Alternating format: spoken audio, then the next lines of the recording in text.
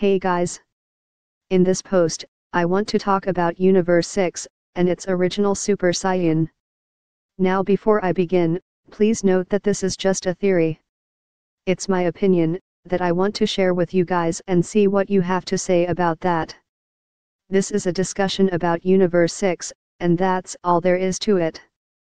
So, let's begin now.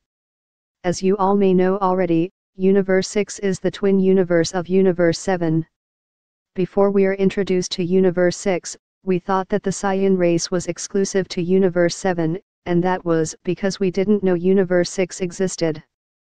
During the Tournament of Destroyers, we saw that Universe 6 was basically the same as Universe 7, with some changes.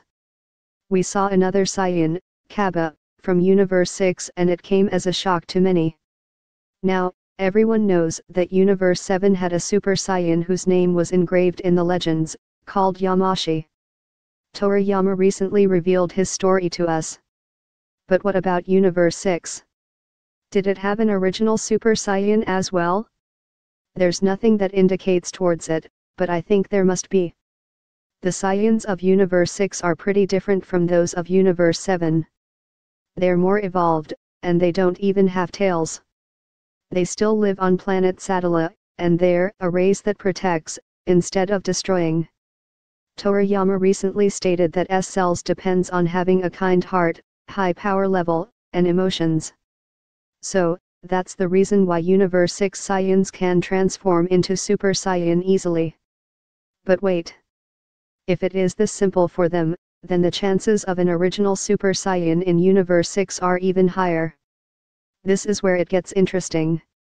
I believe that you all know that there is a Dragon Ball movie coming in December 2018.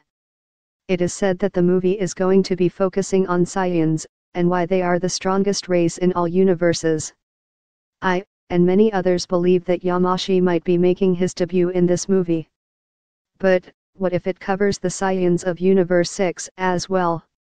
If that's the case, we could very well be seeing a Super Saiyan from Universe 6, or maybe even a Super Saiyan God.